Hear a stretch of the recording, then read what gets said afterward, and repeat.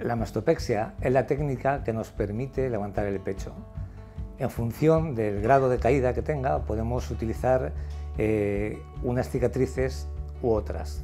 Tratamos de hacer el, menor, eh, el menor tamaño de cicatrices, el menor número de cicatrices, pero generalmente eh, las técnicas que llevan una cicatriz, además de la periareolar, una vertical y una horizontal, suelen ser las que tienen mejores resultados satisfactorios, sobre todo a largo plazo muchas veces podemos combinar eh, la técnica de mastopexia con un implante de prótesis en función del tejido mamario previo que tenemos y también eh, bueno, pues en función de lo que la paciente quiera, porque muchas veces la paciente bueno, pues demanda más volumen, además de levantar el pecho.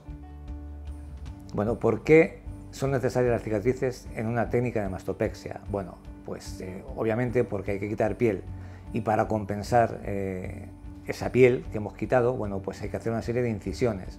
Lo ideal sería que fueran mínimas, que, fueran muy pequeñas o que fueran únicamente alrededor de la areola. No es tan sencillo el economizar con el número de cicatrices y con el tamaño de las cicatrices, porque en función de las cicatrices va eh, la forma óptima de la mama. Eh, lo ideal sería bueno, poder resolver muchos casos con una técnica únicamente periareolar, pero es muy limitada, es muy muy limitada. Entonces, eh, en la mayoría de los casos hay que combinar la, cicatriz alrededor de la areola, la periareolar hay que combinarla con una vertical y en muchos casos, bueno, pues con una horizontal que sigue la línea del surco submamario. Eh, muchas veces son de buenísima calidad, pero, pero obviamente como cualquier cicatriz, bueno, pues eh, no se puede a priori eh, asegurar cómo va a ser al 100% la evolución. Combinar la técnica de mastopexia con implante de prótesis eh, bueno, pues eh, es imprescindible en los casos que tenemos un muy poco tejido mamario, una mama muy pequeña. Incluso tenemos casos muy severos, que realmente es una piel tosada, una piel caída con ausencia casi absoluta de tejido mamario. Eh, mm, a veces el poner una prótesis va en función mm, también de lo que la paciente demande, porque quiere aumentar un poco el volumen, porque, bueno, pues igual que se pone unas prótesis eh, sin mastopexia se pueden poner unas prótesis con mastopexia, simplemente por el hecho de, mejorar el volumen.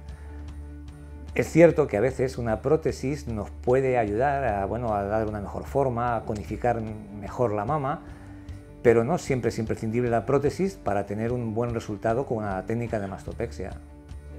Bueno, vamos a ver. Eh, la técnica, la cirugía eh, de mastopexia realmente mm, es menos dolorosa que una prótesis de mama. Eh, eh, realmente eh, lo que más puede molestar en una cirugía de mastopexia es si incluimos un implante retropectoral. ¿Por qué? Bueno, pues porque eso es lo que realmente molesta mucho en, una cirugía de mama, de haber levantado, disecado el, bolsillo retropectoral. Entonces, las molestias de una mastopexia no van mucho más allá del dolor o molestia que pueda tener una paciente por unas prótesis convencionales.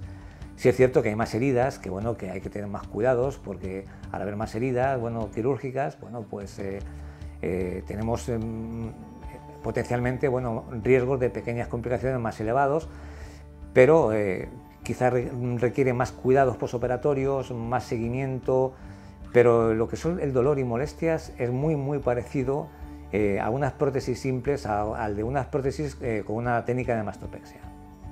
El tiempo de recuperación en una técnica de mastopexia es algo más largo que en una técnica de implante de prótesis sin mastopexia.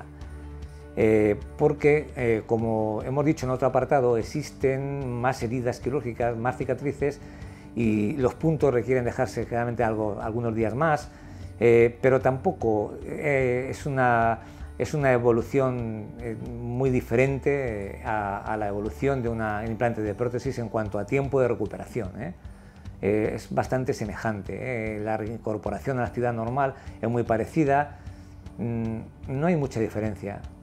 Estamos hablando en, días, en torno a una semana, aproximadamente 10 días para hacer una actividad más o menos normal que no requiera esfuerzos importantes con los brazos porque hay personas que tienen una actividad diaria habitual que equivale a un, casi a un deporte. Entonces, eh, eso requiere más tiempo, eh, dos, tres, cuatro semanas, incluso puede requerir más tiempo. Eh.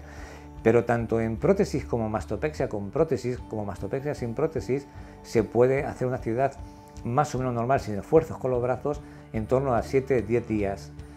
Si bien cuando hacemos una mastopexia los puntos se van a dejar más tiempo que cuando hacemos un implante normal, que se pueden quitar en torno a los 7 días, y en la mastopexia se suele dejar más tiempo, pero eso no, no es incompatible con una actividad más o menos normal diaria. ¿eh?